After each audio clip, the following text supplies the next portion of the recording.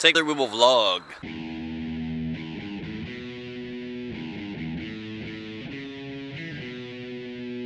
Alright, so I'm sitting on the hood of my car um, as the sun sets. Sun sets. I'm on my way to band practice and I realized that I was going to be a little early and I hadn't shot a video yet today or for the past couple days so I figured I would pull over on the side of the road and um, enjoy this magnificent lighting and shoot a quick video.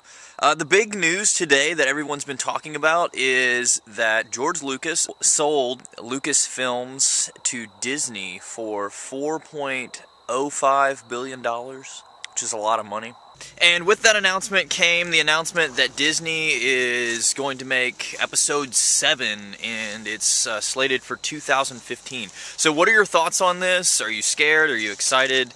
Um, I had a uh, conversation with my cousin this past weekend at a Halloween party, and she is a Disney fanatic. Goes to all of the expos, goes to uh, any of the parks multiple times a year. Um, and she already knew this was going to happen, and she um,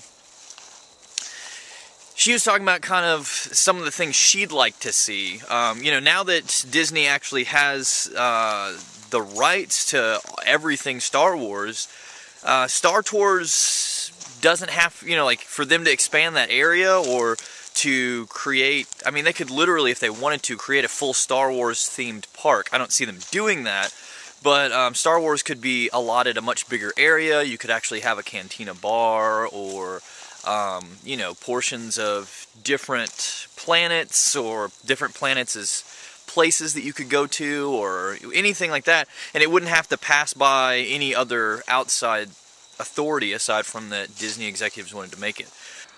There's my car way back there.